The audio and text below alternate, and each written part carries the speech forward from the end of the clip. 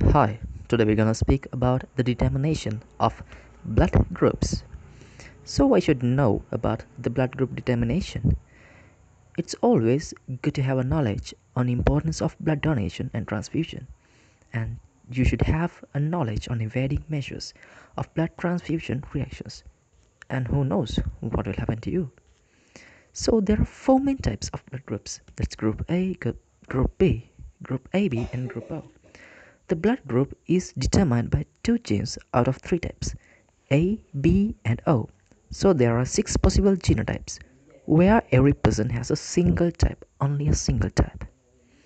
So when there is genotype A and A, the blood group is A. When the genotype B and B is available, the blood group is B. When the genotype A and B is available, the blood group is AB. When the genotype A and O is available, the blood group is A. When the genotype B and O is available, the blood group is B. When the genotype O and O is available, the blood group is O. So, in red blood cells, in cell membrane, it has antigens or agglutinogens. These are made of glycolipids and glycoproteins, while plasma contains antibodies or agglutinins. So, in blood group A, it has antigen A in red blood cell membrane while antibody B in plasma. Additionally, in humans, there are there is another factor, additional antigen called rhesus factor or the rhesus antigen. When this factor is available, it is said that it is rhesus positive and when factor is not present, it is rhesus negative. So let's go for the test of determination of blood groups. So there are several materials required.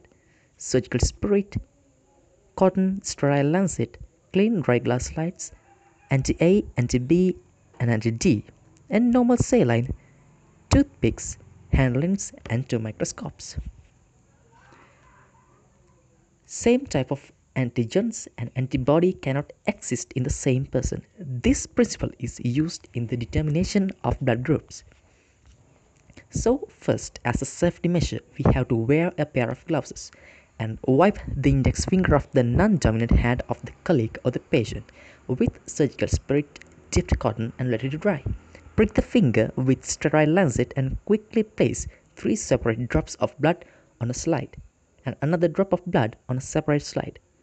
An adequate amount of anti-A, anti-B and anti-D on three separate blood drops and you should not touch the blood with the tip of the reagent bottle because it can get contaminated.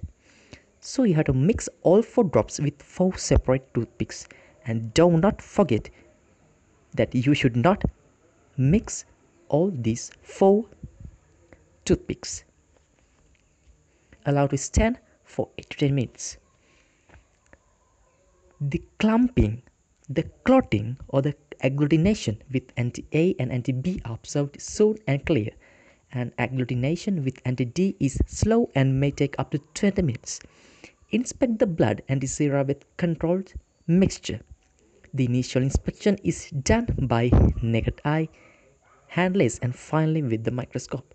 The clumping or agglutination is observed and the blood group is interpreted.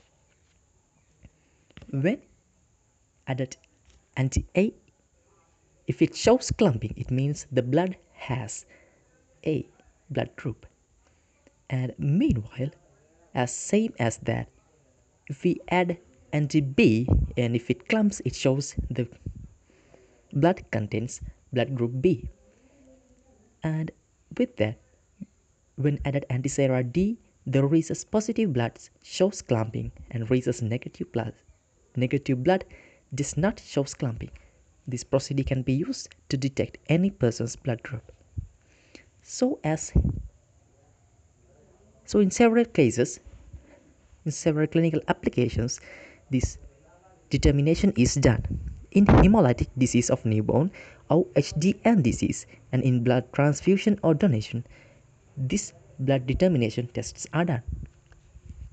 And do you know that one pint of blood can save up to three lives and it's simple it's painless and it's a heartfully emotional thing. So thank you very much for listening